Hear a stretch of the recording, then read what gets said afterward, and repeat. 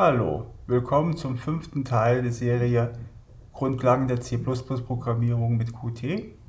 Heute in der Extreme Edition bei 34 Grad Außentemperatur.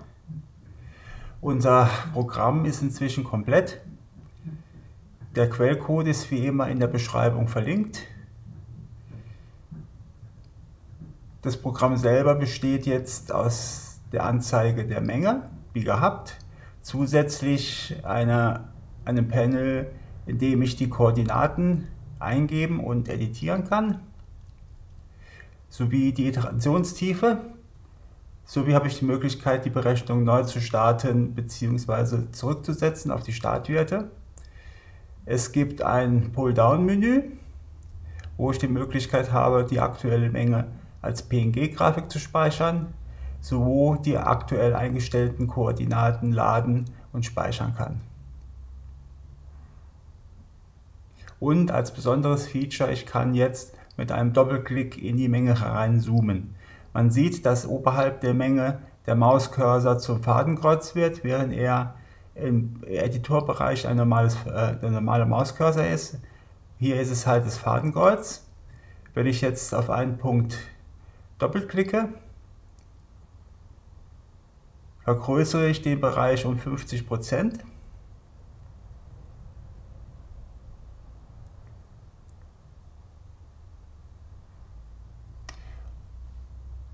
Und kann hier beliebig weiter zoomen. Zum Beispiel auf den Teil.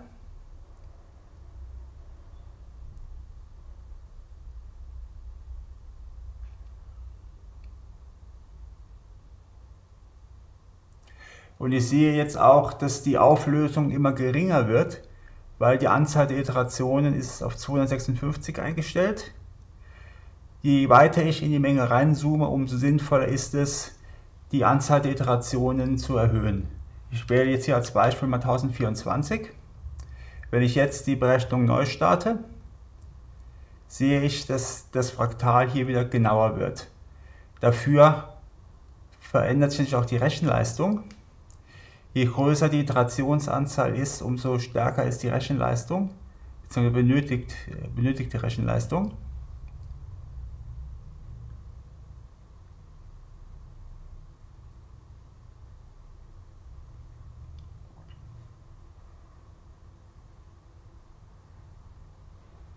Wie gesagt, zum Speichern des Fraktals sage ich als PNG speichern, wähle den Dateinamen. Ich nehme es mal so, wie es ist. Er speichert es als PNG-Datei. Hier ist meine Grafik. Ich kann auch die Koordinaten abspeichern.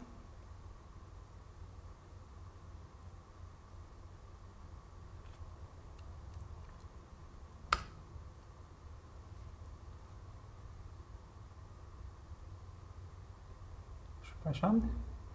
Wenn ich jetzt das Ganze resette, also auf die Startwerte zurücksetze, kann ich jetzt auf die Koordinaten wieder laden.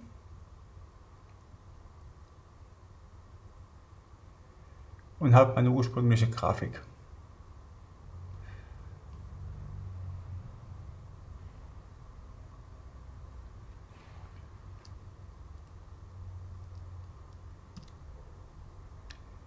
So, wie funktioniert das Ganze jetzt? Das Grundprogramm ist unverändert geblieben.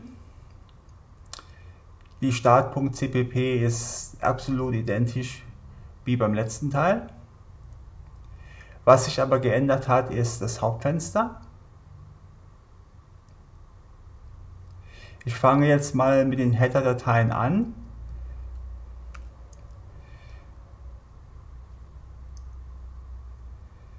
Geblieben ist, dass das Hauptfenster eine Ableitung der Klasse QMainWindow ist.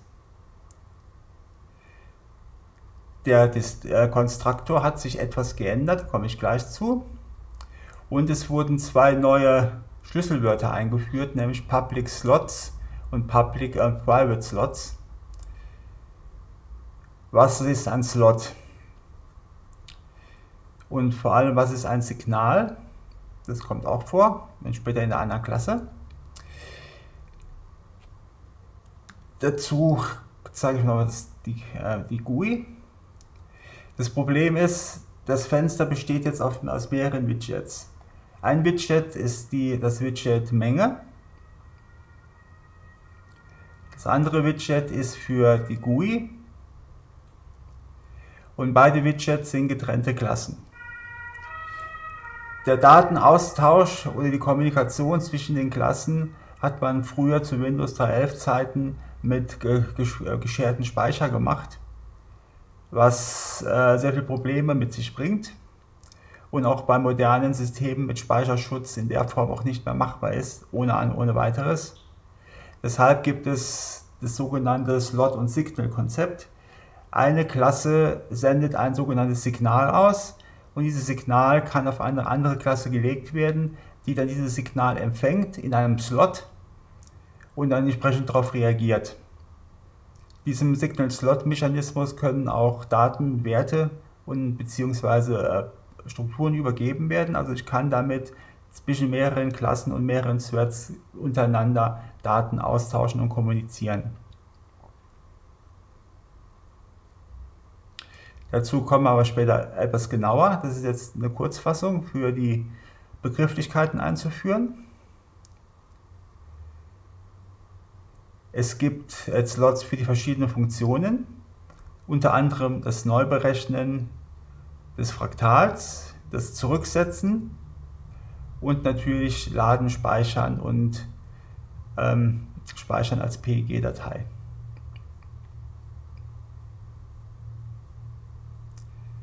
Es gibt zwei neue Funktionen, nämlich Aufbau des Layouts mit dem Layout Manager, also das der Teil, der diese GUI aufbaut und sagt, welches Widget ist wo, wo kann ich editieren, wo nicht. Es gibt einen Aufbau des Menüs, also das Pull-Down-Menü.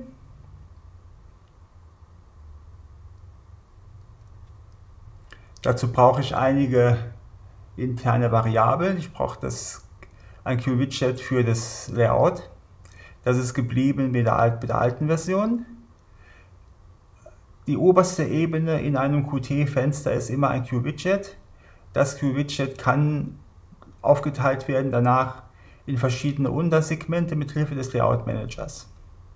Also das, was ich hier sehe, ist praktisch das Werk des Layout Managers. Dem sage ich genau, welche Spaltenzeilen ist, ist was und was und er kümmert sich darum, dass es entsprechend organisiert wird. Also ich muss mich um die ähm, die Koordinaten in Pixeln nicht mehr selber kümmern.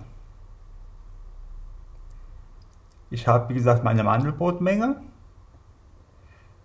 Die ist identisch geblieben mit der letzten Version. Das ist auch eine Ableitung von QWidget. Ich habe ein nacktes QWidget für den GUI-Teil. Das ist der hier. Und ich habe ein Q-Menü-Widget, Entschuldigung, Q-Bar für die Hauptleiste. Also das hier, das ist Q-Menü-Bar und Q-Menü sind die einzelnen Punkte. Das ist in diesem Fall ein Q-Menü für das Dateimenü. Danach kommen die einzelnen Elemente des GUIs. In diesem Fall, das hier ist eine sogenannte Double Spin Box. Also ich kann eine Nachkommazahl mit doppelter Genauigkeit eingeben und beliebig editieren. Davon gibt es vier Stück. Es gibt also für die Koordinaten Rmax, Rmin und Imax und Imin. Ich habe eine normale Spinbox für Integer-Werte. Das ist diese hier.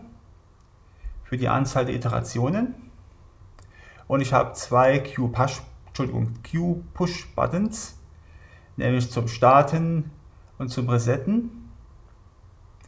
Die liegen im Hauptfenster und das war's, was sich in der Header-Datei geändert hat. Die CPP-Datei ist etwas komplexer. Der Konstruktor ist am Anfang identisch geblieben. Ich lege zuerst den Namen des Fensters fest. sage dann, welche Window Flex ich möchte, also sprich in diesem Fall, ich kann sagen, dass ich das Fenster minimieren und maximieren will, sowohl in der Größe ändern kann. Ich gebe einen Startwert fest für die Größe, in diesem Fall 800 x 600 Pixel. Das kann zur Laufzeit beliebig geändert werden.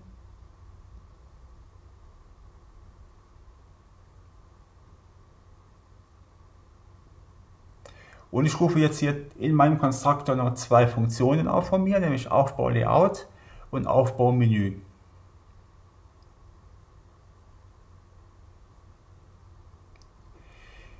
Aufbau Layout ist jetzt der Layout Manager von Qt. Dieser ist relativ komplex. Es lohnt sich da ein bisschen anzulesen.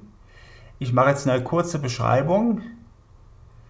Wie gesagt, das äh, die oberste Ebene im Fenster ist immer ein Q-Widget, das das gesamte benutzbare, der, Entschuldigung, die gesamte benutzbare Fläche des Fensters anschließt. Ich mache, wie gesagt, ein neues Q-Widget, nenne es Layout und setze dessen Geometrie, also dessen Ausmaße, in der gesamten, im gesamten Ausmessung des Fensters, also von Pixel 00 bis zur Breite und zur Höhe und setze dieses Widget als neues Zentral-Widget. Also sprich, das Widget ist jetzt the Master of the Universe. Und dann fange ich an, meinen Layout Manager zu bearbeiten.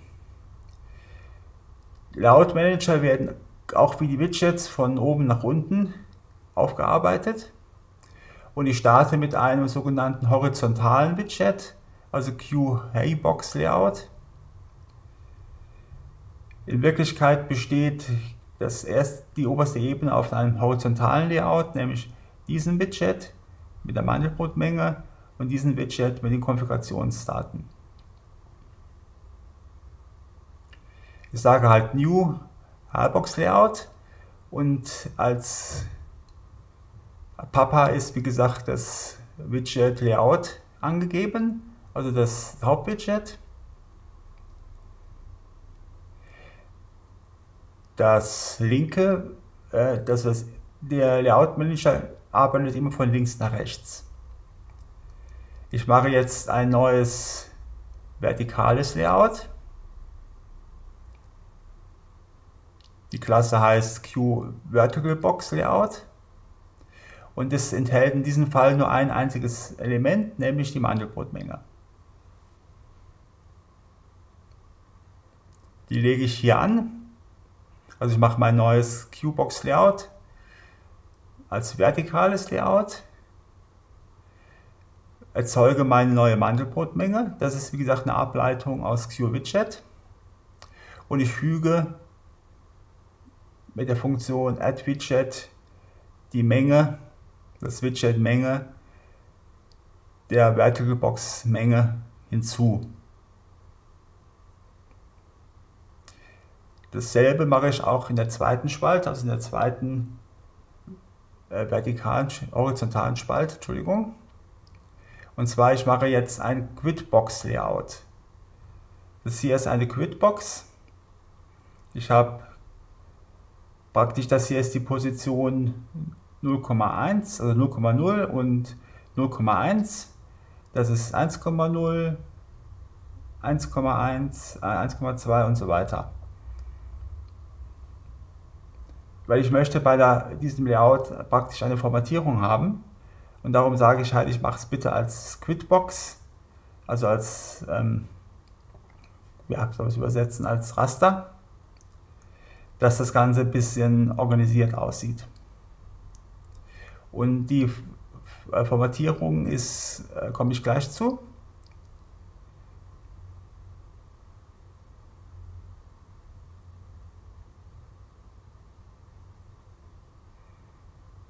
Wie gesagt, ich mache für die zweite Spalte des horizontalen Layouts die besagte Box und erstelle dann in diesem äh, zweiten Layout eine vertikale Box zusätzlich, um halt meine Elemente hier aufzubekommen. Diese Box füge ich halt auch meinem Entschuldigung, zuerst erzeuge ich natürlich die Box und stelle jetzt dafür ein neues Widget, weil es kommt ein Kunstgriff, der bei Qt etwas ungünstig gelöst ist, sagen wir es mal so. Und zwar, ich kann die Quitbox selbst nicht in der Breite und Höhe beschränken. Die wird dessen Ausmaße wird automatisch vom Layout Manager festgelegt und es ist manchmal ein bisschen störend. Und der Kunstgriff besteht darin, wenn ich möchte, dass die Quitbox in der Größe fixiert ist, dass ich diese in einen Q-Widget einsperre. Das Q-Widget kann ich festlegen, wie, wie groß es maximal werden darf. Und in diesem Fall fixiere ich ein Widget in einer festen Breite, nämlich ein Viertel der Breite des Startwindows. Das ist in dem Fall jetzt ein gesunder Wert. Das Ganze hier ist ein Viertel der Breite des Gesamtfensters. Oder anders ausgedrückt, die Menge nimmt ein Drittel der Breite ein und ein Viertel ist die äh, Konfiguration. Also praktisch unterhalb dieser Quidbox ist noch ein Widget. Das Widget selbst ist unsichtbar, dient aber jetzt als Größenbegrenzung für die äh, Q-Quidbox. Das Ganze wird ebenfalls wieder hinzugefügt und jetzt werden die einzelnen Elemente angelegt.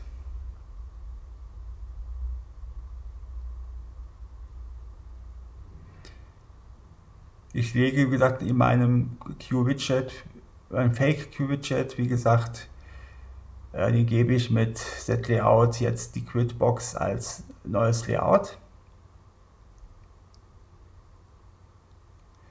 Füge dann jetzt Haupt, äh, dem Hauptlayout, nämlich der horizontalen Box, die beiden Layouts zu. Also zuerst die Menge und dann, wie gesagt, die Konfigurationsdatei. Wenn ich das jetzt als Beispiel, wenn ich das Ganze jetzt umdrehe, also zum Beispiel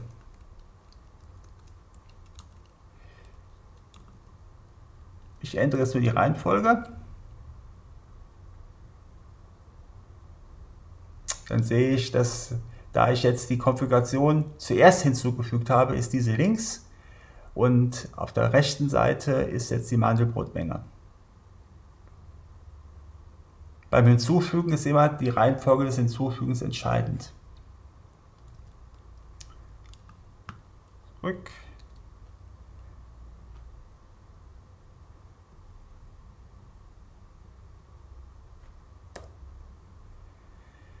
So, und jetzt geht es um den Aufbau der QQuid-Box selbst.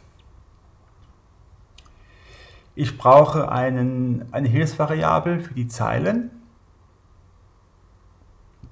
Moment, ich muss gerade erst was trinken.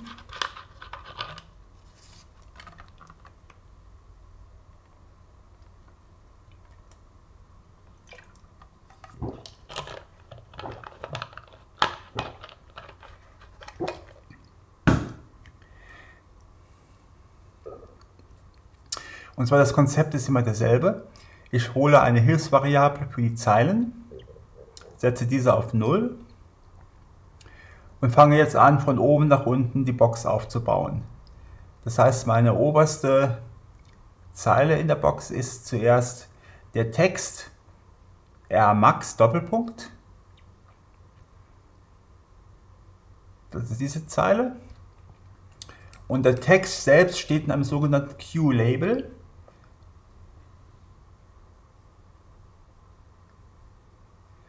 Und dieser Text wird hinzugefügt als Widget.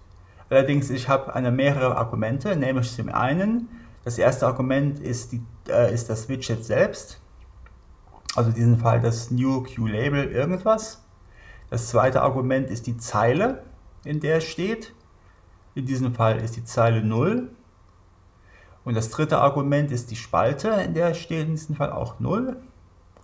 Also das hier ist die Zeile, das ist die erste Spalte. Das ist die zweite Spalte. Und in der zweiten äh, Spalte steht, wie gesagt, ein Q-Double, eine Q-Double-Spinbox.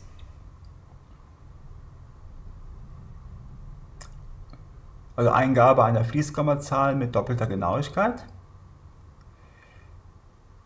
Nachdem ich das dem, der QQuit-Box hinzugefügt habe, erhöhe ich den Zeilenzähler um 1, weil ich bin jetzt in der nächsten Zeile. Dann mache ich dann dasselbe für Rmin. Nehme zuerst meinen Q-Double-Spinbox, setze wie gesagt nochmal den Inhalt äh, des Wertes. Das habe ich gerade, glaube ich, vergessen zu erklären. Wenn ich eine äh, Double Spinbox oder Spinbox allgemein anlege, ist der Startwert natürlich 0. Und mit, dem, mit der Funktion setValue kann ich den Startwert festlegen. In diesem Fall hole ich aus meiner Mandelbrotmenge die entsprechenden Koordinaten. Also in diesem Fall halt Rmax, Rmin und so weiter. Tue diese auch nach demselben Konzept der äh, Spinbox, Entschuldigung, der Quitbox hinzufügen. Dasselbe mache ich auch für Emax und Emin. Dann kommt der Iterationszähler. Das Prinzip ist identisch, aber ich nehme jetzt eine Q-Spinbox und keine Double Spin Box.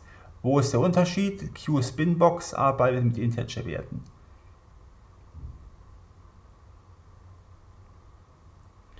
Und man sieht hier, ich habe eine Trennlinie. Diese Trennlinie wird hier angelegt.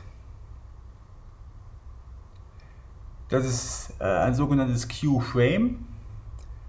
Und zwar mit zwei speziellen äh, Properties, nämlich äh, wie ist der Rahmen ausgelegt.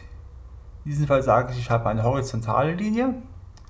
Und als Argument auch, ich habe einen Schatten, nämlich Pseudo-3D-Schatten.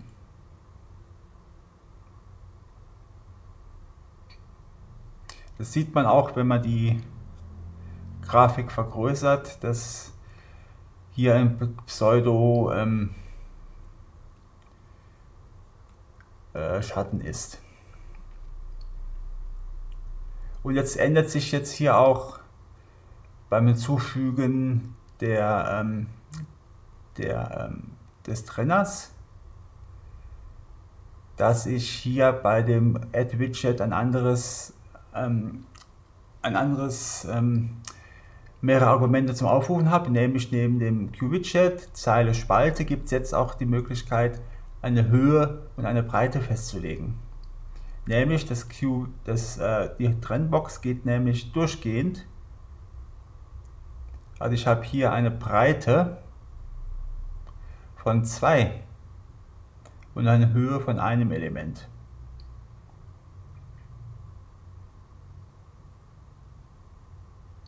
Und als nächstes kommt der Q-Push-Button für Start und der Q-Push-Button für Reset der Werte. Das Ganze ist aus der Klasse Q-Push-Button. Das Hinzufügen ist identisch. Ich nehme halt wie gesagt das Widget, die Zeile, die Spalte und in diesem Fall auch wieder die Höhe und die Breite. Also beide Elemente gehen über die gesamte Breite der Quitbox.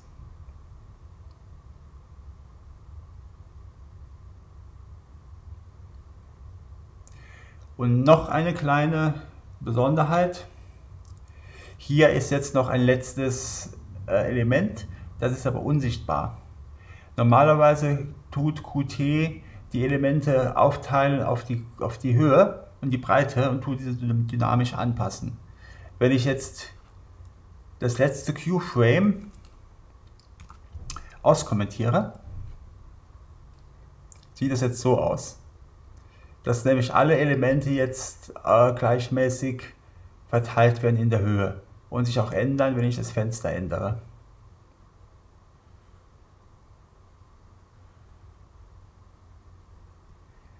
Damit das nicht passiert, wird wie gesagt ein Q-Frame auf der gesamten verbleibenden Breite hinzugefügt. Das Q-Frame ist in diesem Fall unsichtbar, sorgt aber dafür, dass der obere Teil schön zentriert ist und unten ist halt Luft, sprich ist nichts. Aber ich kann jetzt das Fenster beliebig vergrößern und es ändert sich keine Position der Elemente.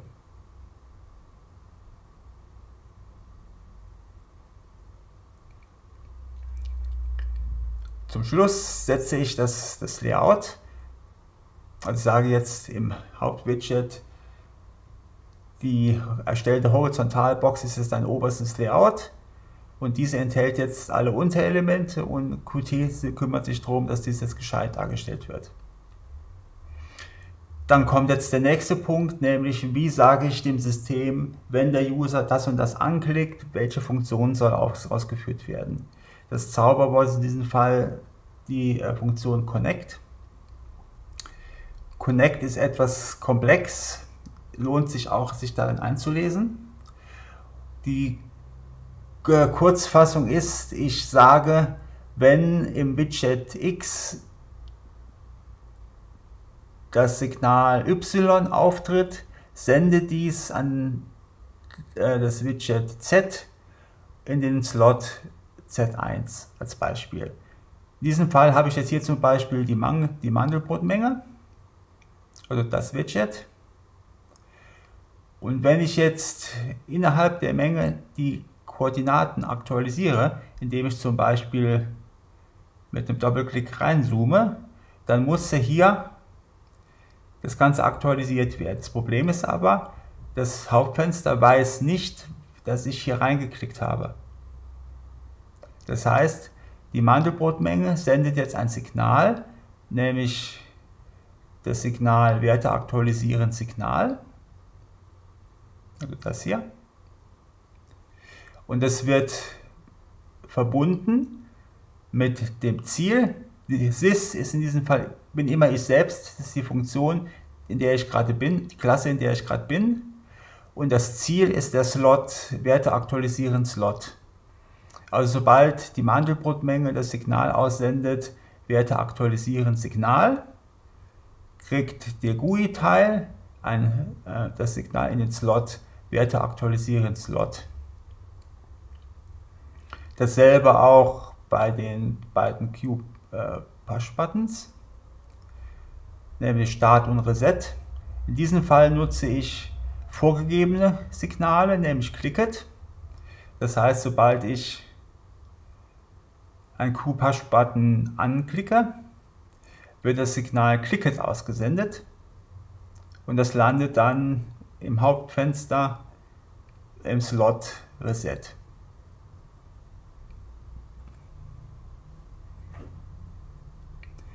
Ein ähnliches Konzept ist es auch beim den Menüs.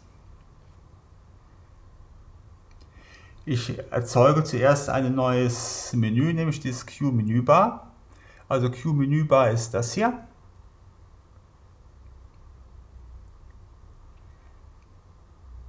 Ich lege einen neuen Menüpunkt an, nämlich in diesem Fall das Dateimenü, also das hier. Das ist das ein Q-Menü. Q-Menü wird hinzugefügt zur, also ähm, der Papa von Q-Menü ist Menüleiste, also die Q-Menü-Bar, bekommt den Titel Datei. Das hier ist der Titel. Und enthält diese Elemente.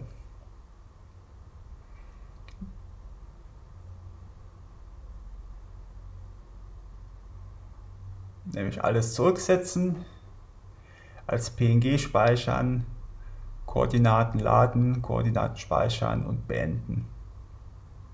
Sowie äh, einige Separatoren. Das hier sind die Separatoren, wo ich Menüpunkte trennen kann optisch. Das Konzept ist ähnlich wie bei dem Connect. Ich habe als äh, Argumente sys, also ich, das Ziel ist äh, ich selbst. und geht dann in den Slot, in diesem Fall Reset-Slot, beziehungsweise Bild speichern Slot, äh, Koordinaten laden Slot und Koordinaten speichern Slot, beziehungsweise die Qt-internen Slot-Funktion, nämlich Close. Close ist ein, ein Slot für das Fenster und das sagt, beende dich. Zusätzlich kann ich auch äh, angeben, welchen Shortcut benutzt werden soll. In diesem Fall beim Zurücksetzen zum Beispiel ist es Kommando R, Laden äh, ist Kommando L, Kommando S zum Speichern, Kommando P zum Speichern als PNG. Äh, dazu eine kleine An Anmerkung, bei Windows und Linux ist Control, die Control-Taste gemeint, bei Mac wird automatisch die Command-Taste daraus gemacht. Das Ganze, wie gesagt, äh, wird dann mit Add-Menü dem, äh, der Menüleiste hinzugefügt und mit Z-Menübar dann dem Fenster bekannt gegeben, es gibt eine neue Menüleiste.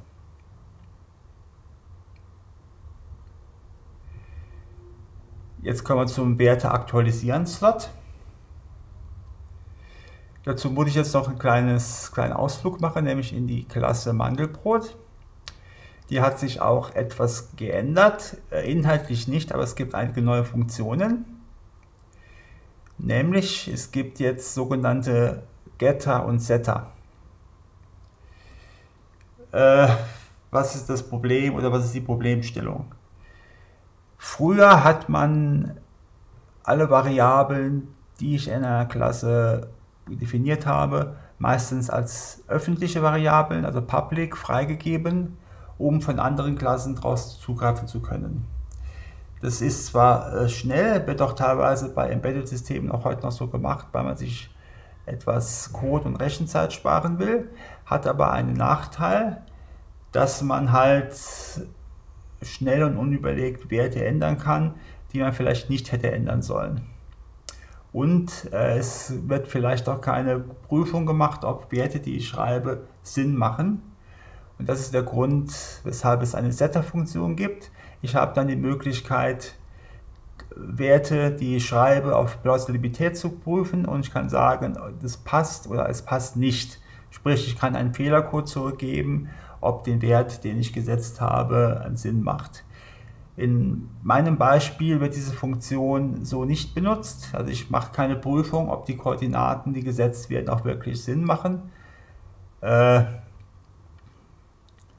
es ist aber sinnvoll, dies zu tun bei komplexeren Problemen. Das, man soll sich auch die Zeit nehmen, allgemein beim Programmieren. Fehlercodes sind nicht dazu da, dass sie schön in der Vitrine aussehen, sondern dazu da, dass man sie auch auswertet und auch dann nutzt. Äh, dasselbe gilt auch für die Getter-Funktionen. Wenn ich eine Variable möchte, frage ich die Klasse, gib mir den Inhalt der Variable so und so. Da gibt es, wie gesagt, die Getter-Funktion für alle Parameter, Entschuldigung, für alle Koordinatenpaare und es gibt die Setter-Funktionen.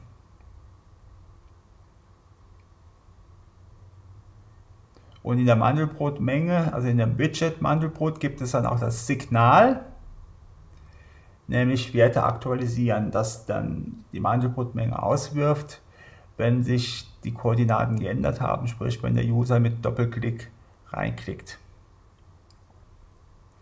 Da kommen wir gleich nochmal dazu. Wenn, ich um, es um die Mandelbrotmenge selbst geht, das war jetzt nur die Erklärung, was ist, der, äh, was ist ein Getter, was ist ein Setter. Ich bekomme hier praktisch jetzt meine Werte und bei den äh, Spinboxen habe ich die Möglichkeit mit setValue den Wert zu ändern. In diesem Fall mache ich zum Beispiel bei rmin setValue den Inhalt von rmin, bei rmax dasselbe und so weiter. Dasselbe auch für die, den Imaginärteil und natürlich auch für die Iterationen. Wenn jetzt der Benutzer klickt auf Start, macht eine Neuberechnung, muss ich natürlich zuerst den Inhalt der Koordinaten und Iterationstiefe auslesen, weil der User kann es natürlich geändert haben. Das ist die gegenteilige Funktion, nämlich jetzt habe ich hier meinen Setter und ich nehme aus, dem, äh, der, aus der Q-Double-Spin-Box mit, mit der Funktion Value den Inhalt des aktuellen Feldes. Also bei Rmax wäre es jetzt hier zum Beispiel 2, Rmin wäre minus 1 und so weiter. Imax 1,5 und so weiter. Iterationstiefe ist 256. Anschließend starte ich eine Neuberechnung. Und das mache ich relativ einfach, indem ich einfach sage Update. Update ist ein Slot von der Q äh, von Q-Widget und sagt nichts anderes, zeichne dich neu. Und wenn ich das, den Update aufrufe auf dem obersten Widget, heißt das, dass alle Unterwidgets automatisch mit neu gezeichnet werden.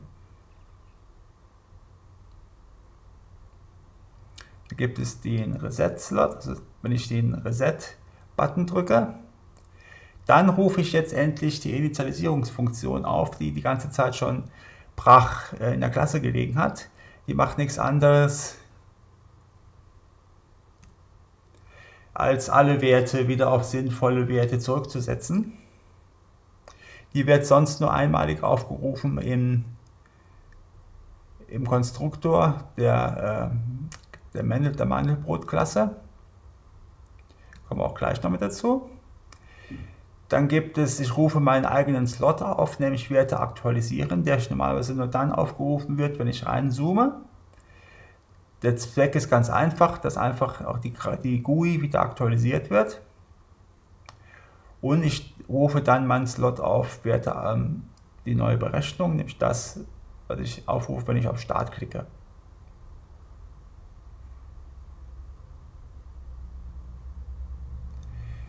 So, jetzt wird es ein bisschen komplexer, nämlich was passiert, wenn ich ein Bild speichern möchte.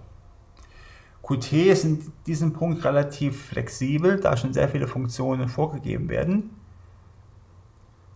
Wenn ich ein Bild speichern möchte, kriege ich zuerst äh, einen Dialog gezeigt, wo ich eine Datei speichern möchte.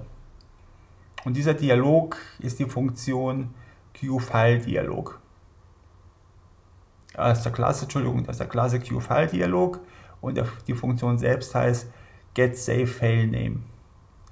Warum Save? Weil ich jetzt irgendwas speichern möchte. Und der Aufruf ist relativ einfach. Zu welchem Widget gehört die Funktion? Also wer ist der Papa? Der Titel des Fensters, in diesem Fall Bild speichern. Vorgabe für den Dateiname, in diesem Fall fraktal.png. Jetzt die, ähm, eine Festlegung, welche Dateitypen angezeigt werden sollen. In diesem Fall sage ich nur PNG-Bilder oder alle Dateien, also Sternchen, Punkt, Sternchen. Und zurück bekomme ich entweder einen sogenannten Q-String, das ist die Qt-interne Klasse für Zeichenketten aller Art. Und ich prüfe, ob dieser Dateiname leer ist, also ist empty. Wenn der Dateiname leer ist, hat der Benutzer entweder abgebrochen oder es wurde keine Dateinamen gewählt. In diesem Fall gehe ich kommentarlos mit Return zurück. Wenn äh, Dateiname nicht leer ist, gehe ich davon aus, dass ein sinnvoller Dateiname gewählt wurde. Und ich nutze jetzt eine Funktion aus dem QWidget, nämlich grep. QWidget, das die Grab-Funktion macht nichts anderes als ein Screenshot des QWidgets und gibt diesen zurück als sogenannte QPixMap, also als Bitmap-Grafik. Ich prüfe, ob die Grafik äh, zurück, also eine sinnvolle Grafik zurückgegeben worden ist. Sollte ich einen Nullpointer bekommen, Entschuldigung, das war gerade Blödsinn, was ich erzählt habe. Äh, ich kriege natürlich keinen Nullpointer. Äh, da hätte schon das System vorher gemeckert. Ich kriege natürlich einen Return-Code. Wenn ich die Grafik speichere, ist es gespeichert worden. Der, ähm, die Funktion in QPixMap ist Save, nämlich Dateiname und Format, in diesem Fall PNG. Und die antwortet mir wie immer mit entweder 0 es ist ein Fehler aufgetreten oder irgendwas ungleich 0, das ist ein Statuscode. In diesem Fall prüfe ich halt auf 0 und wenn 0 zurückkommt, gebe ich eine Fehlermeldung aus, es ist ein Fehler aufgetreten, das ist der Titel und der String ist, es ist ein Fehler beim Speichern der Datei, ein Dateiname aufgetreten. Wie das Ganze in der Praxis aussieht, kann ich mal kurz demonstrieren.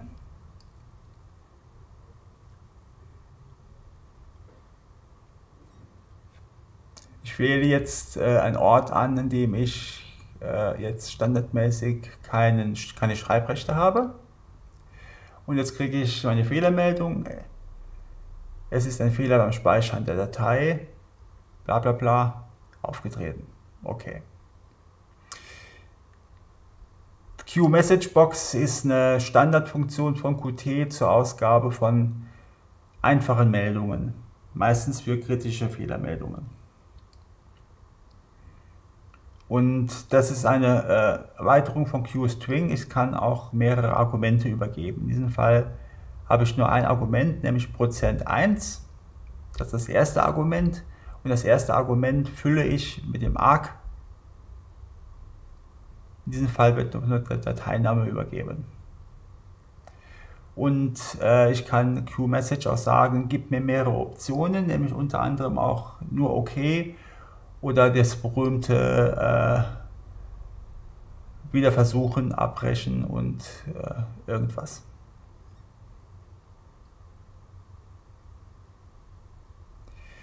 Dasselbe mache ich auch beim Speichern Slot für die Koordinaten.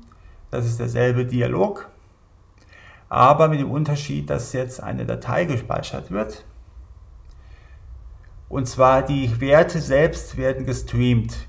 Das heißt, die, die Werte werden am Stück reingespeichert ohne Header. Ähm, so praktisch so, wie sie im Speicher stehen. Und damit das beim Auslesen wieder vernünftig funktioniert, wird festgegeben, mit welcher Version von Qt jetzt gespeichert wurde. Das Prinzip ist ganz einfach. Ich habe das Q-File, das ist meine Datei, die ich speichern möchte. Ich setze über set-file-name die Datei und sage dann open, gebe aber als Argumente mit, ich möchte gerne äh, Lese-Schreib-Zugriff auf diese Datei und sollte diese Datei schon bestehen, wird sie gelöscht, also auf 0 Byte gesetzt. Wenn ich irgendwas ungleich 0 zurückbekomme, ist die Datei geöffnet, also ich habe Schreibzugriff sollte es nicht der Fall sein, also sprich ein 0 zurückkommen, heißt das, die Datei wurde nicht geöffnet. Dann gebe ich entsprechend die Fehlermeldung aus, das ist dieselbe wie vorher. Und wenn die Datei geöffnet wurde, mache ich einen neuen Stream und sage, ich habe Little Endian, also das CPU-Format, das, Entschuldigung, das Zahlenformat der Intel CPU und ich möchte das im Format speichern von Qt48. Also das ist jetzt die, die älteste Version von Qt, die dieses Programm unterstützt. Und dann schreibe ich im Prinzip die Werte so, wie ich sie gerne hätte, in diese Datei über den Stream-Operator. Und am Schluss schließe ich die Datei. Was natürlich jetzt auffällt, ich mache keine Fehlerabfrage, ob das Schreiben auch wirklich erfolgt ist. Das ist ein Demo-Programm. Es ist in der, in der, realen Welt natürlich ist es äh, schlechter Stil, weil man sollte immer prüfen, sind die Werte, die ich geschrieben habe, auch wirklich geschrieben wurden. Also sprich, bitte die Return-Codes des Betriebssystems abfragen und prüfen, hat es funktioniert, was ich gemacht habe. Dasselbe auch dann beim Lesen. Hier nehme ich aber ein Open-File-Dialog, weil ich jetzt eine Datei zum Lesen öffnen möchte. Also nicht, ich möchte keinen Schreibzugriff, sondern ich möchte einfach nur lesen. Die Funktionen, äh, die Aufrufe sind identisch, außer dass ich beim Öffnen der Datei diese Datei jetzt nur als Read-Only öffne. Das heißt, mich interessiert nicht, ob ich Schreibzugriff habe, ich will sie nur lesen. Auch dasselbe, ich tue den Stream definieren. Ich habe dich geschrieben als Little Endian und mindestens Qt48 als Format und lese jetzt die Werte so aus, wie ich sie vorhin geschrieben habe. Auch wieder über den Stream-Operator, aber in diesem Fall rückwärts, sprich ich lese aus der Datei in die Variable. Und da ich den Stream-Operator nicht in einem Setter benutzen kann, nehme ich hierfür jetzt eine Hilfsvariable, nämlich kurzzeitig QR und QI, nämlich für die temporären äh, Real-Werte und die temporären Integer-Werte. Auch hier gilt bitte auch Fehlercodes abfragen, ob das Lesen funktioniert hat. Wenn das Ganze geklappt hat, rufe ich einen internen Slot auf neue Berechnung, dass natürlich dann die, die, ähm, dass die geladenen Werte natürlich äh, zum einen berechnet werden und natürlich auch dann die GUI entsprechend angepasst wird.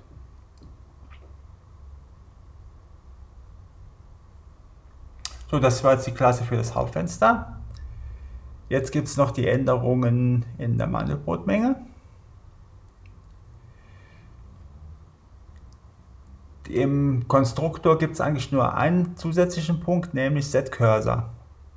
Wie man sieht, wenn ich innerhalb der Mandelbrotmenge bin, ist der Cursor ein Fadenkreuz, weil ich jetzt reinzoomen will. Wenn ich im Editor bin, aber es ist der normale Mauszeiger.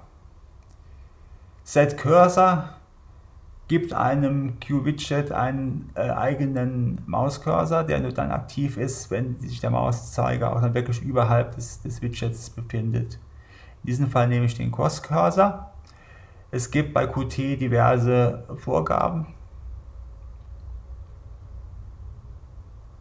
Der Destruktor ist immer noch leer, weil es gibt nichts. Die Initialisierungsfunktion ist auch identisch äh, mit der vorigen Varianten. Und jetzt kommen die eigentlichen Getter-Funktionen.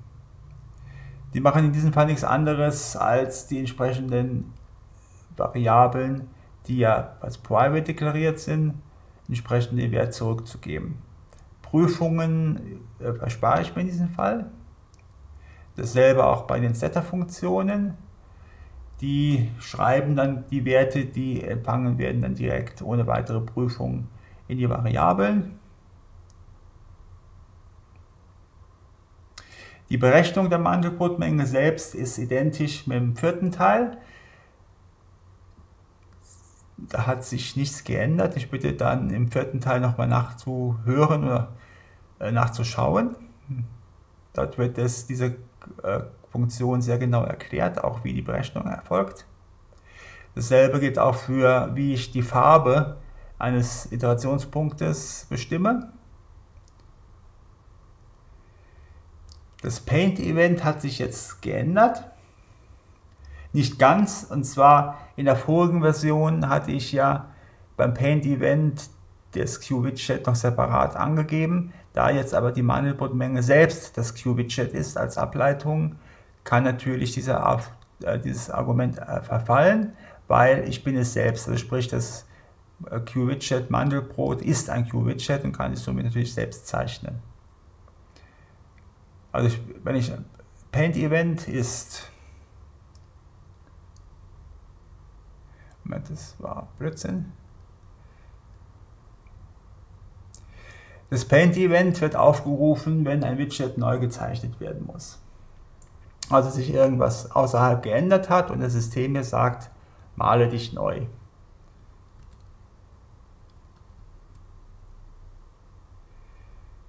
Wenn das Event kommt, muss ich einen Painter anfordern, also sprich äh, eine abstrakte äh, Ausführung meiner Grafik, weil ich ja keine direkten Zugriffe mache auf die Grafik-Hardware wie bei alten Systemen, sondern ich schreibe auf einen virtuellen, praktischen virtuellen, äh, äh, äh, soll ich sagen, eine virtuelle Grafikdatei.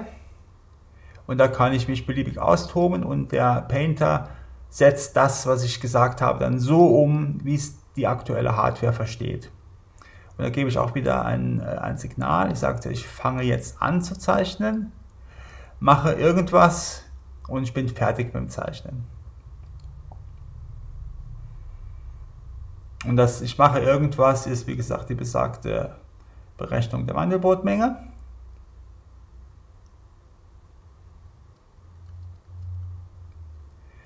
Und jetzt kommt noch äh, als neue Funktion hinzu, nämlich das Double Click Event. Sprich, wenn ich in die Mandelbrotmenge jetzt mit dem Mauszeiger doppelt irgendwo reinklicke,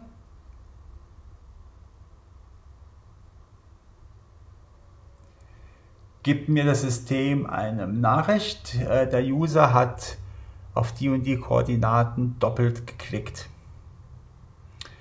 Damit berechne ich jetzt die neuen Koordinaten. Dafür brauche ich einige Hilfsvariablen, nämlich unter anderem xy. Das ist die Koordinate, Moment, muss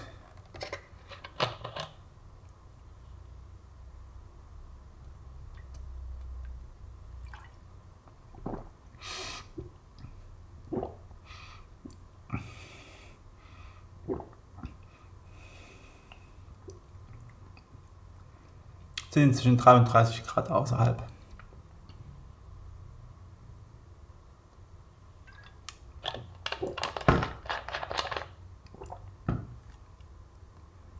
So, Entschuldigung. Ich habe eine XY-Koordinate. Ich kriege über das Message, die Message, ähm, die Position der Maus, nämlich als X- und Y-Koordinate. Die Position ist immer relativ zu meinem Widget.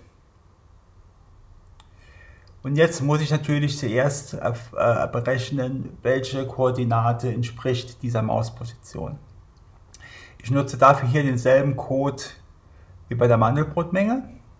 Ich berechne zuerst, äh, wie groß ist meine Schrittweite für die Spalte und für die Zeile. Also wo bin ich auf der x-Achse, wo auf der y-Achse.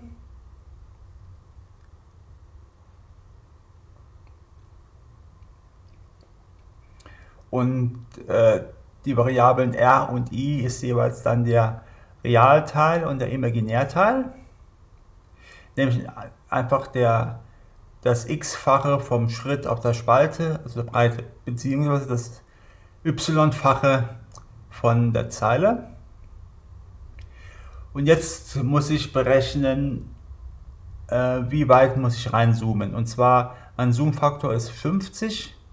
Also wenn ich irgendwo reinzoome, versucht das System 50% der Umgebung des, Maus, des Mauszeigers, also der Mauszeiger ist der Mittelpunkt. Dort wird praktisch ein virtuelles Rechteck gezogen, das 50% der Ausmaße des Fensters hat.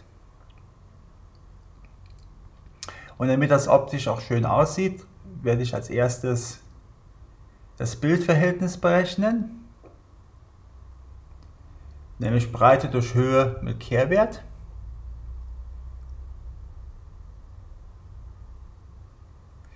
Und sage dann, da ich ein Rechteck darum haben will, wie breit ist das Fenster? Mal den Zoom-Faktor, also mal 0,5 in diesem Fall, geteilt durch 2. Wieso geteilt durch 2? Weil ich ja den Mauszeiger als Mittelpunkt habe und das Rechteck natürlich äh, gleich äh, hoch wie breit um diesen Mauszeiger gelegt wird. Dann berechne ich entsprechend dann das, die Koordinate für Min und Rmax, was dann natürlich R ist, minus die Breite und R plus die Breite. Dasselbe mache ich auch für die Höhe, aber ich multipliziere zuerst den, äh, den Faktor mit meinem Bild, ähm, meinem Bildverhältnis, um halt die Höhe identisch zu haben wie das Bildverhältnis des Fensters, also dass aus der Mandelbrotmenge kein Mandelbrot-Ei wird. Auch hier wieder dasselbe, mein i ist meine, ist mein Mittelpunkt, minus die die Höhe und plus die Höhe.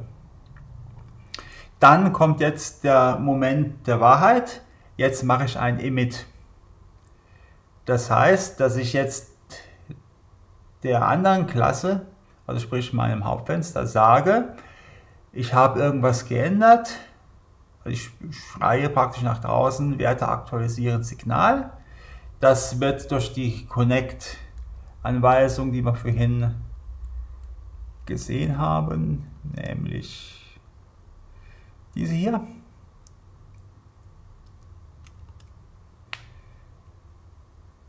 Also meine Brotmenge ist, ist er hier.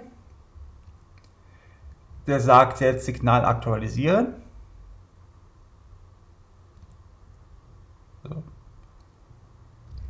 Das kommt jetzt in dem Hauptfenster an, in der Funktion Werte aktualisieren, die sich dann darum kümmert, dass die Werte, die ich jetzt hier geändert habe, hier angezeigt werden, also sprich im Fenster.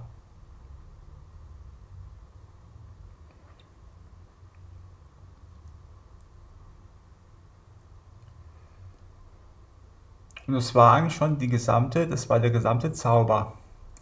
Das Einzige, was noch hinzugekommen ist, ich habe zwei Ableitungen gemacht, nämlich von Q Double Spinbox und Q Spinbox. Wieso habe ich Ableitungen gemacht?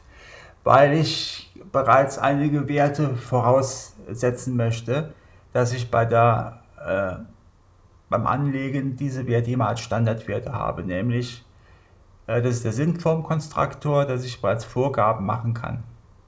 Nämlich das Element ist aktiv, also ich kann damit rumspielen. Mein Maximalwert ist 2, der Minimalwert ist minus 2. Anzahl der Dezimalstellen ist 8 und die Spritweite ist minus äh, 0,1. Ich brauche hier nochmal ein, ein Reset, dass die Zahl jetzt nicht so groß wird, wenn ich jetzt hier plus minus sage, sieht man, ich kann um 0,1 erhöhen und erniedrigen. Das ist hier äh, Single Step. Und ich kann keine Werte eingeben, zum Beispiel jetzt hier 3 eingebe. Man hört das Klicken der, der Tastatur. Es passiert nichts. Jetzt, wenn ich 2 äh, drücke, wird es akzeptiert. Wenn ich jetzt Beispiel versuche, höhere Werte als 2 einzugeben, man hört die Tastatur, passiert nichts. Wenn ich aber sage, zum Beispiel 1,9, ist kein Problem. Wenn ich versuche jetzt irgendwelche Buchstaben einzugeben, passiert auch nichts, weil die äh, die Spinboxen nehmen nur Zahlen an. Dasselbe auch für die Q-Spinbox. Das ist dasselbe wie die Q-Double-Spinbox, aber für Integer-Zahlen. Das heißt, ich habe hier nur meinen Maximalwert und meinen Minimalwert und den Schritt, die Schrittweite. In Schrittweite ist in Fall 1 und Minimalwert ist 10. Wenn ich jetzt zum Beispiel das Ganze mit 10 mache, also 10 Iterationen, ist das die Grafik sehr dunkel, weil natürlich äh, nach 10 Iterationsschritten ist noch relativ wenig zu sehen. Äh, mit 15 auch noch nichts, machen wir 20.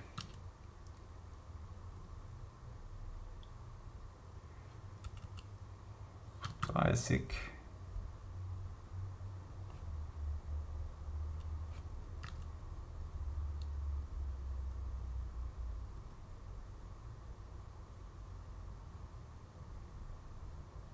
Also, guten Morgen. Ich habe ja meine Koordinaten geändert und bin jetzt nicht irgendwo äh, im Nirvana, im Nirvana. Das heißt, ich resette mich mal komplett und mache jetzt das Ganze mit 10.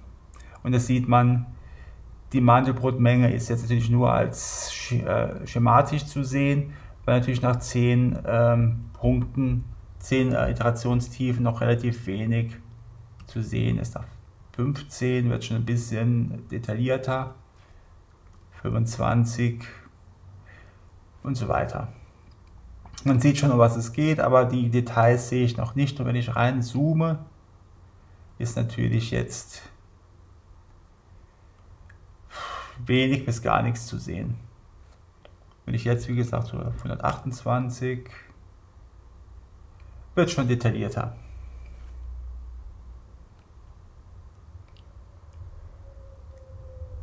So, was fehlt? Äh, fehlen tut von, Funktion, von Funktionen überhaupt nichts. Was allerdings noch ungünstig ist, die Mandelbrotmenge selbst wird direkt im Paint-Händler geschrieben und berechnet. Was natürlich dazu führt, dass wenn ich das Fenster vergrößere, man sieht ein, äh, eine Verzögerung.